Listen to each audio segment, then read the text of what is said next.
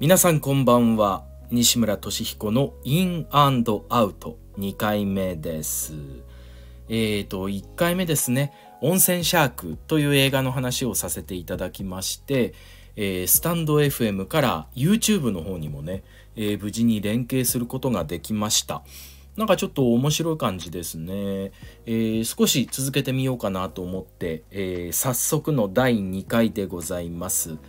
でですねあのー、映画の話とか本の話をしますと、えー、いうことで始めたんですけれども、えー、私ですね今日うんと今日というのは8月17日の土曜日なんですけれどもに、えー、舞台をですね見に行ってきまして、えー、ちょっとえらく面白かったんですよ。でえらく面白くてもうちょっと気合い入れてあのブログに感想を書いてですね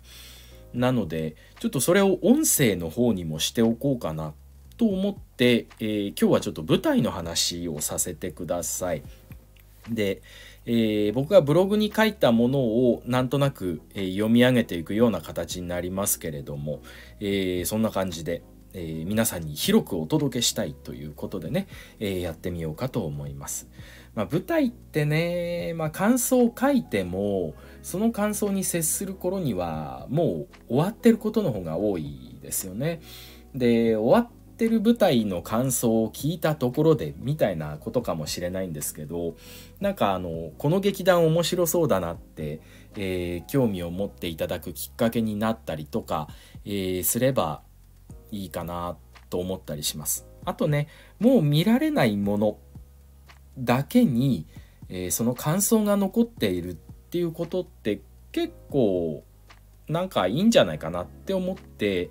たまに感想を書いたりしております。はい、ということでですね私が見に行ってきましたお芝居なんですけれども、えー、劇団ダルメシアンというところが上演しておりました「ラブイデオロギーは突然に」えー、作演出が坂本凛さんでございます。えー、これはですね、えー、イベントで、えー、ガチ劇復活前年祭という、えー、2024年の8月8日から8月18日まで上演されておりましたもので、えー、料金3500円、えー、小竹向原のアトリエ春風社というところでやっておりました。このイベントが、えー、国吉組劇団ダルメシアン松森茂平の小竹向原ボンバーズという、えー、3団体が参加しているイベントでございまして、えー、私が見に行ったのは劇団ダルメシアンの会の演目でございました。コロナ禍の中であまり感激に足を運ばなくなり、えー、演劇は必要不可欠から演劇見に行かなくても大丈夫だに、え、自分のマインドが切り替わってから結構な月日が経つ。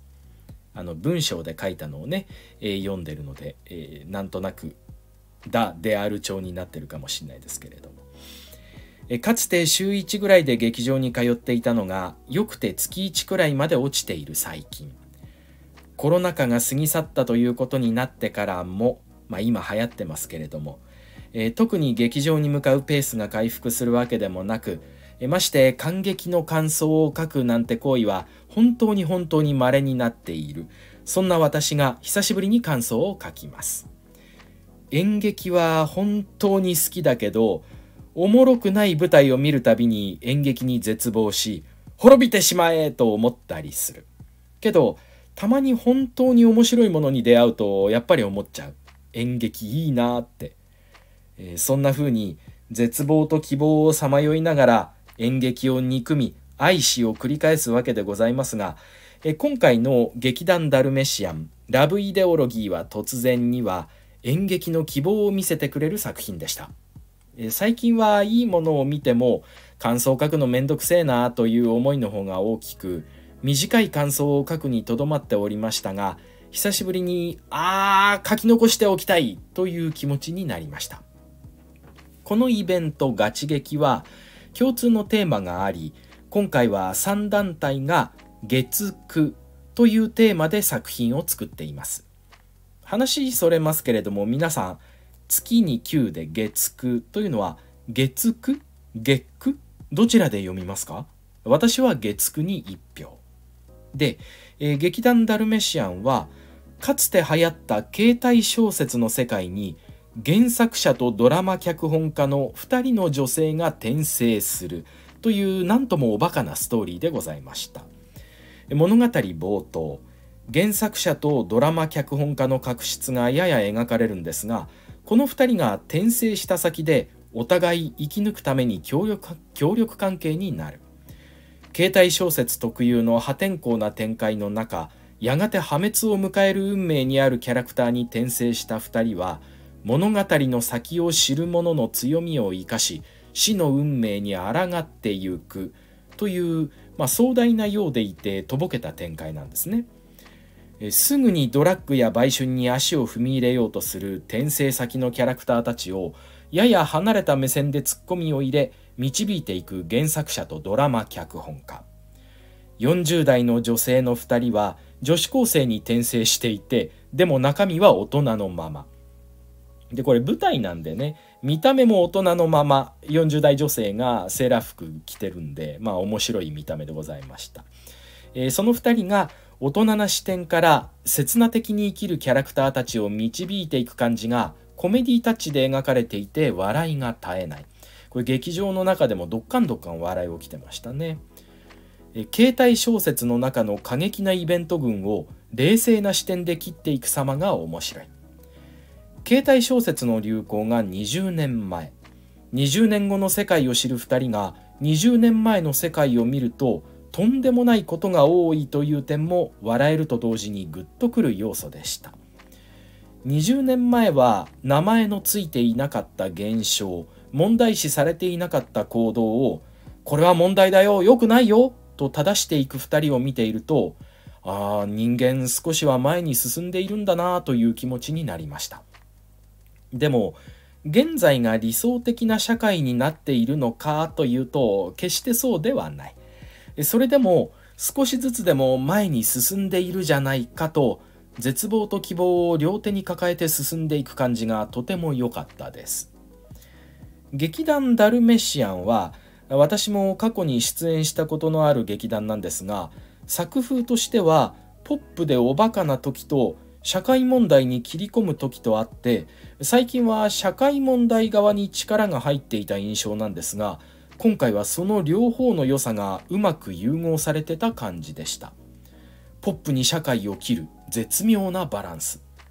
あのリンさん坂本凛さんね。凛さんこの路線で行くのがいいんじゃないかなって私は思いますよ。うん。なんかすごく見やすかったし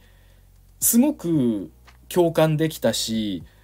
えー、て言うんでしょうこういう問題語る時に起きがちな説教臭さみたいなものをみじんも感じなかったんですよ。これ本当にすごいことだなと思ってまあこの路線がいいと思いますよっつってもずっとこういうものばっかり書いてるわけにもいかないとは思うんですけれどもめちゃくちゃ面白かったです本当に。あのー、ボロボロ泣きました。という、えー、作家さんへの私的なメッセージこれブログに書いてないんですけどちょっとね、えー、感極まって。えー、喋っちゃいましたけどマジで絶妙なバランスでした。で、えーと、携帯小説の中に転生するという設定がまたこのバランスを維持するのに最適なシチュエーションとして機能しているように思いました。社会問題を語りながら説教臭さがみじんもない理想的。まああれですよね。なんかこの何でしょう。現代の問題を語る際にちょっと違う世界にすり替えるっていうやり方がまあある種何て言うんでしょう偶話というか、えー、昔話とかでもよくやられる、えー、手口ですけどそうやることでなんかなんでしょうえぐさが少なくなるみたいなことだったりするのかなって思ったりしてみましたね。うん、あの人間が誰でも抱える、えーと、運命の人に出会って幸せになりたい。誰もが夢見る願い祈りは、えー、同時に人を縛る呪いでもある。ロマンチックラブイデオロギー。これ私初めて聞いた言葉なんですけれどもこういう何て言うんですか運命の人に出会って幸せになりたい、えー、恋愛して結婚したい。みたいなことを言うらしいです。ロマンチックラブイデオロギーを物語でドラマで強化してきた2人が、まあ、あの原作者とドラマ作者ですね。えその2人が「そこばっかじゃないんだよ。大切なのは自分なんだよ」と呪われた登場人物を解放しようと試みる終盤の展開を見つめながら演劇を見て久しぶりにボロボロと涙をこぼす自分に気づきました。本当に演劇見て泣くことって私稀なんですよ映画見て泣くことは割とあるんですけど演劇見てここまで泣いたのは本当に久しぶりですね何ぶりだろうなちょっと思い浮かばないぐらい久しぶりに気持ちよく涙を流しましたね。うん、流しっぱなしで一切拭かない。でマスクしてるからなんかバレないかなと思って、えー、気持ちよく泣いてきましたけれども本当にねもう映画で言うとこれはあのアベンジャーズエンドゲームぐらい私泣いてたと思います。あの後半。後半あのいいんだよって言いながら走ってる時。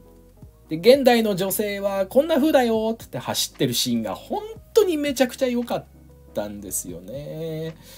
なんかあのまあ要するにその何て言うんですか？ドラマの中の登場人物がその彼氏に振られちゃってもう世界終わりだってなってる時にあの恋愛だけじゃないぞ世界はっつって。20年後はあのそんな感じにはなってないんだよ。であの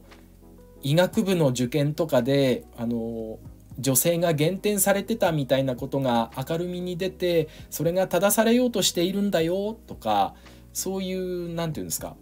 現代の世界が少しずつ、えーと、男女格差みたいなことをなくそうとしているぞということを、まあ、物語のキャラクターに告げるんですけどその何て言うんですか告げていく内容みたいなことが確かに前進しているんだけどそれってそうなって、えー、つまり格差がなくなって当たり前のこと？を何て言うかこんな風になったんだよって言わなきゃいけないこと？っていう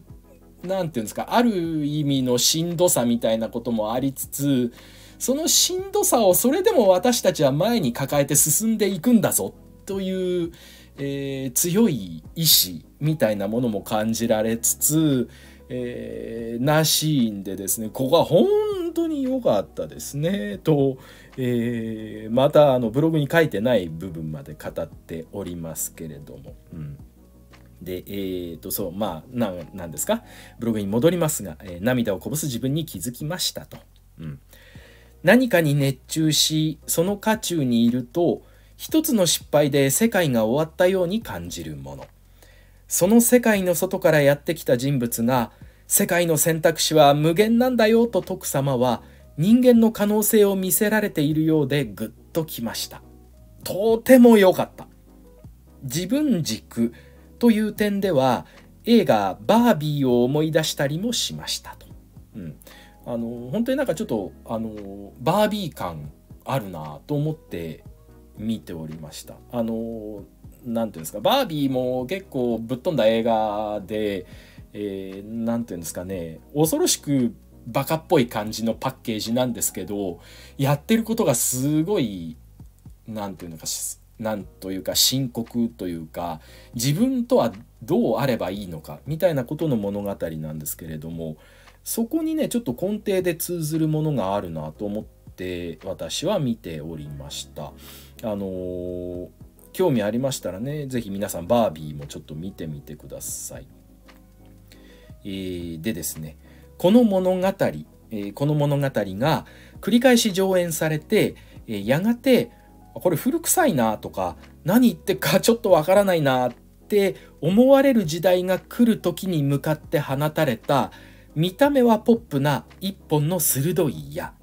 それがこの作品なんだろうなと思います、時間の経過で物語が古びていくという現象についても考えさせられます本当にね何て言うんでしょうあのこの作中のえー、携帯小説っていうのが今古臭く感じていたっていうことは我々は何て言うんですかそういうところから一歩先に進んでいるんだっていう証拠なんだと思うんですよ。なので、えー、この劇団ダルメシアンの「ラブイデオロギーは突然に」という物語があこれ古臭いなって感じる時代になったらあの人間はきっと相当前進していると思うんですね。でそれがあの20年先なのか50年先なのかあるいは100年先なのかもうちょっとわからないですけどそういう未来に向けて、えー、放たれた物語であるというふうに私はすごい感じてですね。あのー、決していい状態ではない現在からえっ、ー、といいはずの未来に向かってメッセージを投げているというような感じが、ちょっとこの辺はあのチェーホフ感すら感じましたね。うん、よかったな、えー、祈りの強さ呪いの濃さ、祈りと呪いに憧れ苦悩する人間の背中をポンと叩いて前に進ませてくれるエール。しびれました。いいもの見たなということで、えー、ブログに書いた感想プラス今の私の えー、喋ってるうちに思い出してきた思いをえー、喋ってみましたけれどもこれ本当に面白かったっすね。うん。配信とかないのがもったいないこれはと私は思いましたというのはあの是非いろんな人に見てほしいなと思うんですよね私のこの感想が公開される頃にはあのもうこの物語には触れられない状態になっている。まあある種その一瞬性みたいなことが舞台の魅力でもあるんですけれどもねえもったいないよということで是非再演再再演と重ねていけばいいと思います。これは本当にあの何でしょうねお宝戯曲お宝演目になるんじゃないですかと私は思ってます。小劇場ってねどんどん再演すればいいと思うんですよね私ね本当に毎回新作をやらなきゃいけないみたいなこれもある種呪いですけどみたいな状態で、えー、何でしょう活動している劇団が多いような印象があるんですよね。本当に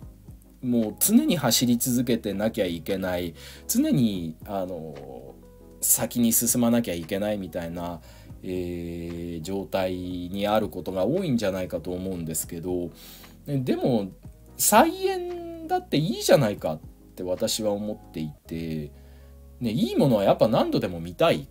と思うし再演ってねあの初演の時には分からなかったこととかもあったりするだろうしそういうことってね再演をしていくことってかなりいいんじゃないかなって僕は思ってます。うん、なので、えー、ぜひぜひねやってほしいですね。本当に。はい。ちょっと久しぶりにこれだけ長い感想を書きましたよ私。もうあのいても立ってもいられなくなってですね、えー、書きました。うん面白かったな面白かった。よ面白かった。よかった。うん本当に良かったですね。でまたメインの女優さん2人がこれ良かったですね。この何て言うんでしょうとぼけたとぼけた感じの世界観でもすごく深刻なものが流れてるっていうところを、えー、体現して、えー、2人で回していってる感じがとても良かったですね。本当に。うん。という感じでですね今回はあの一度私が文章にした感想を、えー、眺めつつ、えー、途中でまた思い浮かんだことを挟みつつという感じで、えー、感想を語ってみました。昨日の温泉シャークの話はですねもう本当にあの録音スイッチを押して思い浮かぶままに話してたんですけれどもそれよりこっちの方が聞きやすいですかね？どうでしょうね？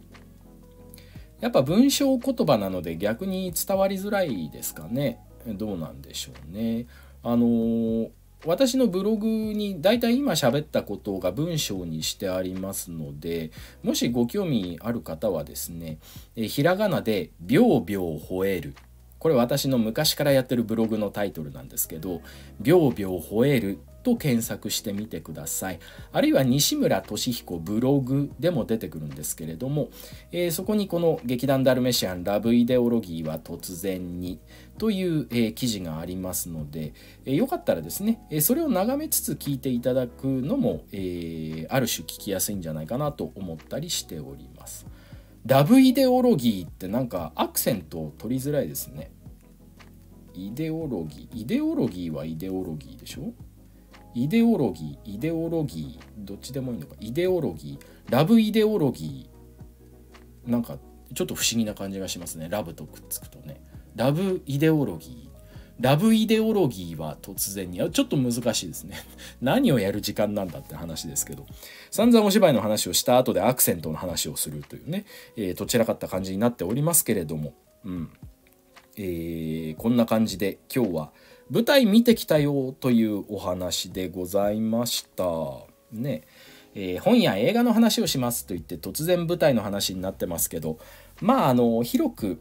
何て言うんでしょう物語に私が触れた時に、えー、どんな風に心が動いたのかということを、えー、つれづれになるままに、えー、おしゃべりしていくというような、えー、ことですね。やっぱね何かに感動した時にあの言語化しておくことってすごく大事だなって改めて思っていてこういうことをやっておくとなんか自分がどういうもの好きなのかとかあのどういう点にグッとくるのかみたいなことがちょっと自覚しやすくなるなって思ってるんですよ。本当にあのなんかわかんないけど感動したっていうところをなんでそうなったのかっていうことを探っていく。えー、っていうのはある意味なんか自分を探しているようで、えー、面白いなと思ってやらせていただいてます。まああの皆さんにはねなんかあのあ面白そうって思うきっかけになればいいなって思っております。えー、この劇団ダルメシャンはあの今後も活動していかれる、えー、ようなので、えー、ぜひですね今回の作品ではないかもしれませんけどどこかで劇団ダルメシアンという名前を見た時にはですねあ西村が言ってたやつだと、えー、ちょっと思い出してみてください。ね演劇ことに小劇場の演劇ってねなかなか見に行きづらいですよね。演劇やってたりとかあるいはあの知り合いに、えー、演劇に関わってる人がいる。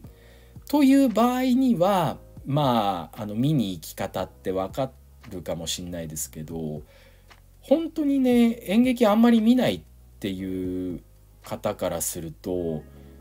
どこでチケットを買ったらいいのかとかどんな劇団がどこでやってるのかとかそれはどんな作品なのかとか何ていうか情報にアクセスする術がなかなかないと思うんですよね。うん、なのでね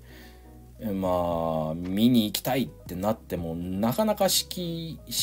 敷居が高いってどういう意味なんでしたっけ？ちょっとなんか難しい言葉なんですよね。本来の意味と、えー、なんとなく通用してる意味との違いがね。なのであの敷居が高いとかじゃなくて、えーとハードルが高い。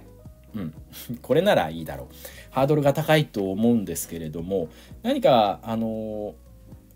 例えば今回ねこれで劇団ダルメシアに興味を持ったという場合にはあの X 旧 Twitter ですねで、えー、ちょっと劇団のアカウントでも探してみてください。あの今何て言うんですか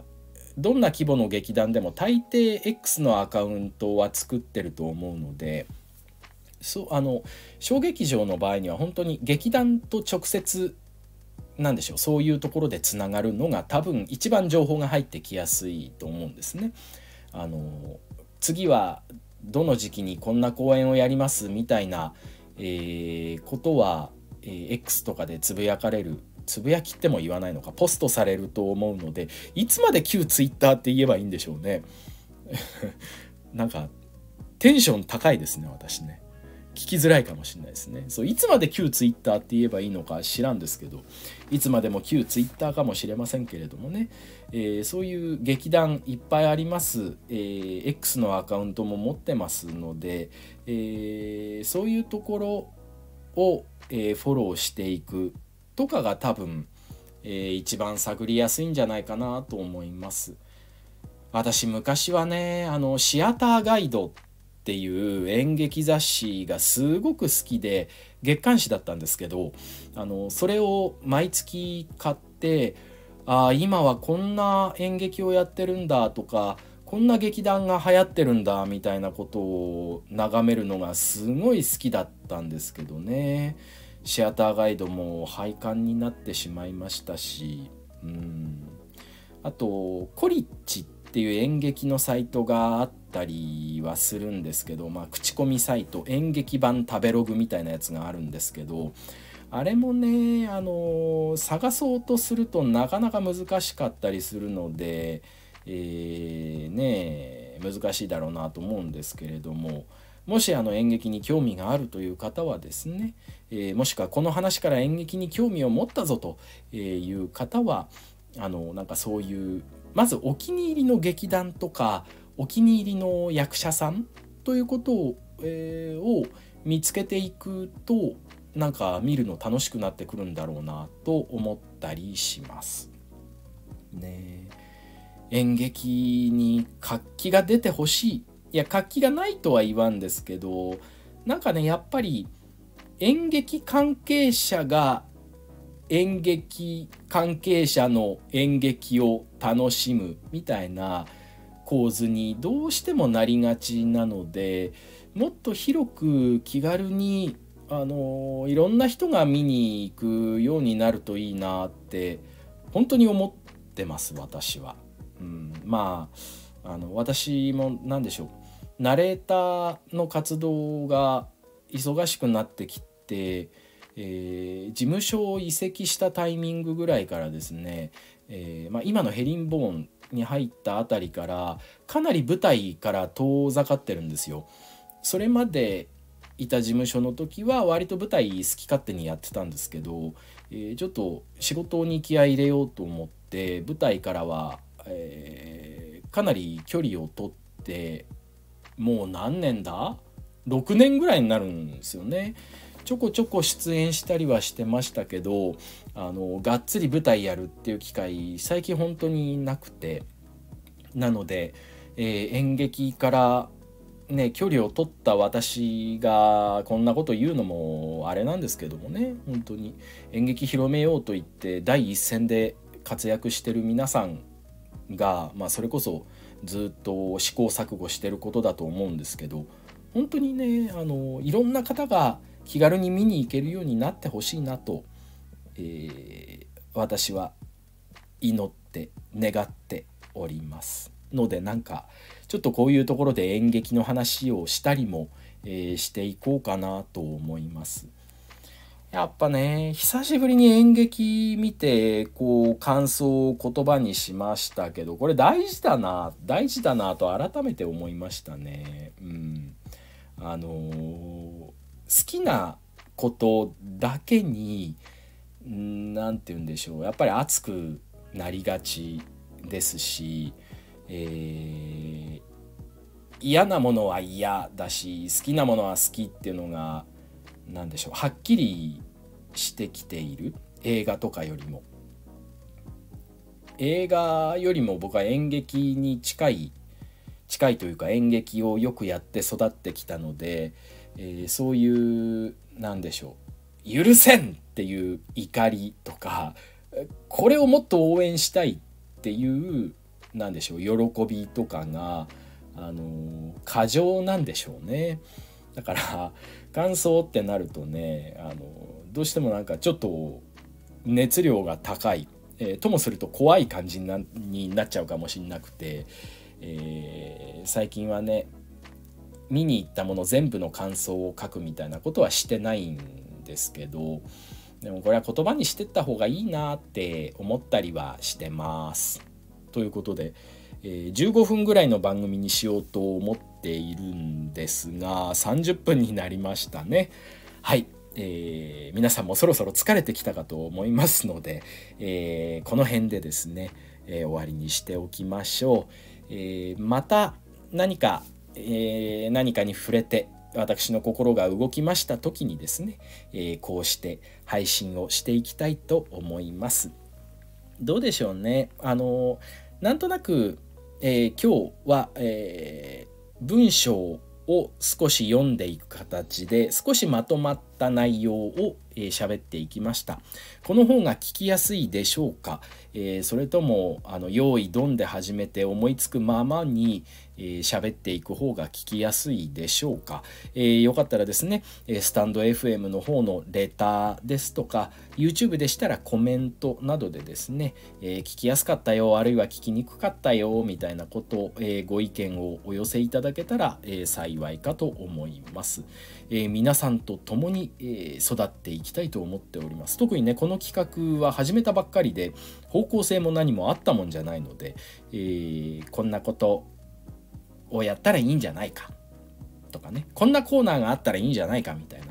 あのある種一人ラジオみたいな感じで、えー、やっております。喋る練習も兼ねて、えー、やっておりますので、えー、よろしかったら皆さんのご意見ご要望もどしどしお寄せください。それではまた別の物語でお会いしましょう。西村俊彦のインアウトでした。おやすみなさい。Thank you